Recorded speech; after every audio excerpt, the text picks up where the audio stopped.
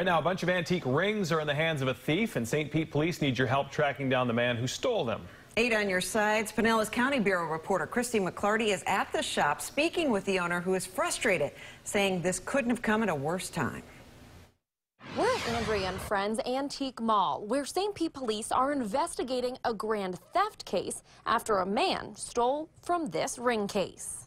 It is sad because the, the people here are good people. We've been here a couple of times and it, they have a lot of stuff in this place. But now they have a little less. Owner Andrea LeGrand says between noon and 1 p.m. on October 17th, this man stole 36 antique rings valued at a total of $15,000. He knew what he was doing. He knew what he was going for. LeGrand says they always have two people working the store, but he struck when one went to the bathroom. In that short period of time, uh, he went in there. He had a screwdriver in his pocket. He reached in and he undid two locks. We had two locks on it, and he managed to get them both off. She says it couldn't have come at a worse time with business hurting due to the COVID pandemic. We had to close down for seven weeks, and it's it's it's been tough, but we've been holding our own. Customers like Frank Toronto feel for her. It's a shame, and uh, people just don't have respect for other people's property.